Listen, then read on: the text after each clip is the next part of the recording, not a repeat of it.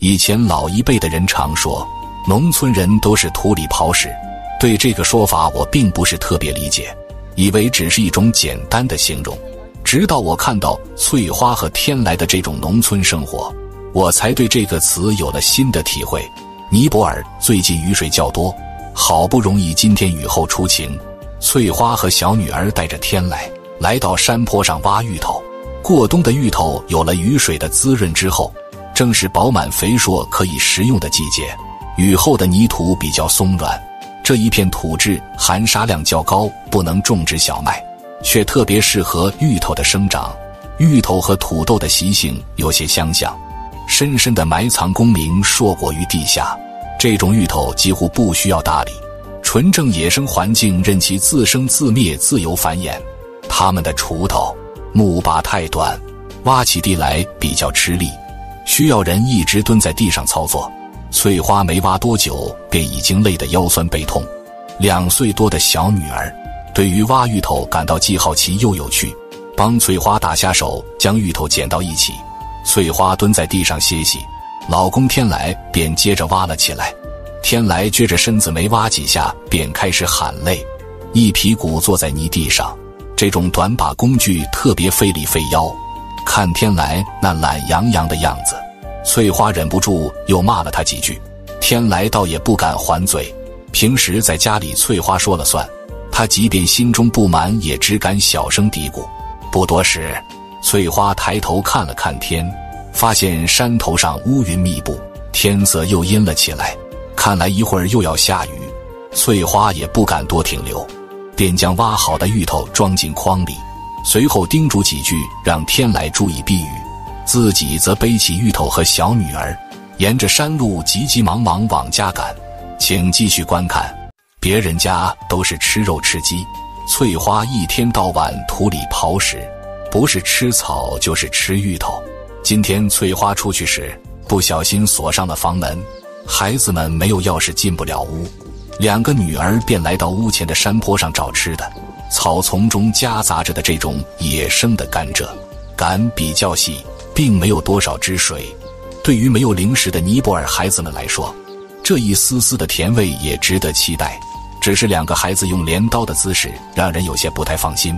甘蔗砍好后，两个女儿便蹲在山坡前，你一口我一口啃了起来。这种野生的甘蔗甜味较低，和吃甜高粱干差不多。我小时候也经常在田间地头找甜高粱干吃，因为不认得，经常会祸害掉很多高粱。主人气得大骂，我们吓得不敢承认。此时，翠花正抱着小女儿吃力地往家赶。这个季节，山坡上的麦子已经长出麦穗，今年雨水充沛，眼看又是一个丰收的季节。翠花这一路头上挂着一筐芋头，怀里还抱着一个孩子。一路跌跌撞撞，累得气喘吁吁，好容易来到门前，掏出钥匙打开房门。没过几分钟，外面便下起淅淅沥沥的小雨。翠花庆幸自己回来的及时，没顾上休息，又蹲在地上开始生火，准备给几个孩子煮饭。一个人既要看护几个孩子，又要劳动煮饭，确实是一件很辛苦的事。咱们平时两口子带一个孩子，有时感觉饭都吃不到嘴。炉火点着后，翠花舀来一碗玉米，从火塘里抓了一把炉灰撒进锅中，炉灰和玉米一起翻炒。她想给几个孩子做些爆米花尝尝。山里人一切都是自给自足，能不花钱就不花钱。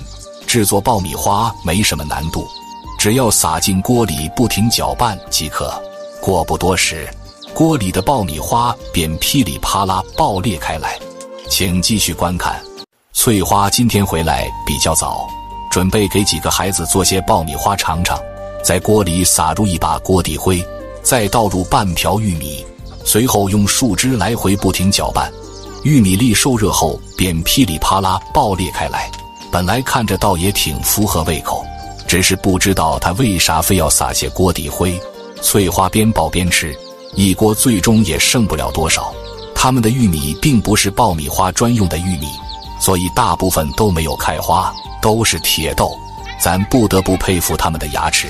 玉米花爆好后，几个孩子围在一起吃了起来。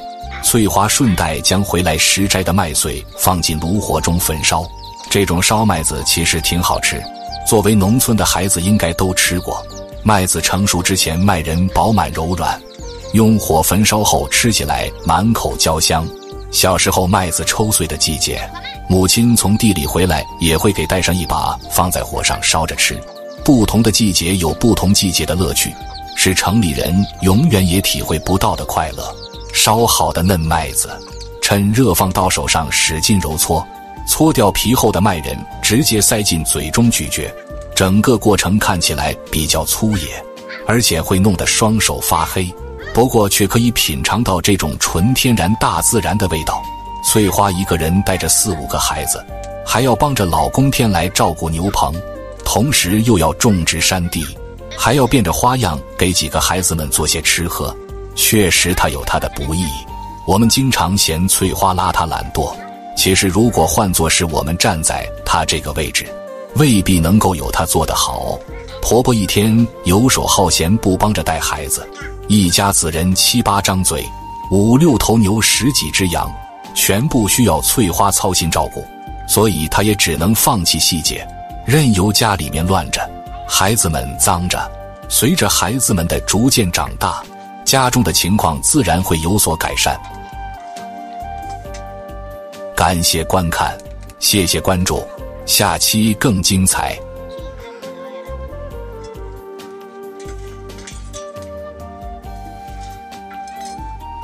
多情的巴桑爱上了温柔的荷香，荷香确实是个好姑娘，不仅人长得漂亮，相貌也端庄大方，勤俭持家，里里外外都是好榜样。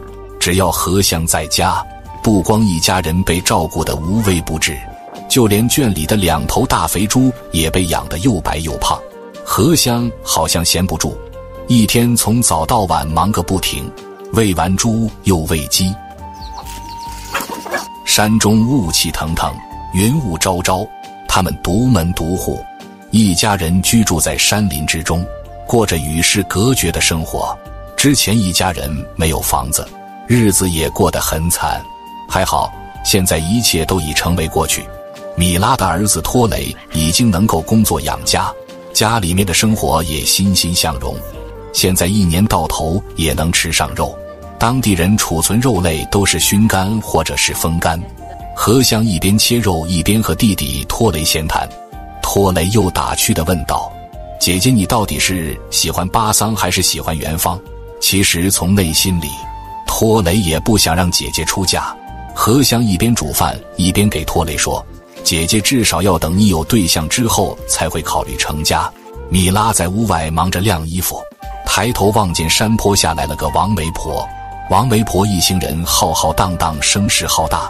一干人等来到米拉家里，众人寒暄客气一番，打过招呼后，铺上草席盘腿坐下，这才表明来意。来者自报家门说，他们是隔壁村的大户人家，家中良田百亩，牛羊成群，来到这里不为别的，就是想给儿子玉溪说媒提亲。相比于巴桑媒婆来时带的礼物。玉溪家确实出手阔绰大方，不但带来了饮料，还有一个硕大的猪头。媒人还向米拉介绍说，这户人家是隔壁永康村村长的儿子，家境在当地也是数一数一。有个儿子名字叫玉溪，今年刚刚二十七，不仅性格沉稳，而且有稳定的工作。请继续观看。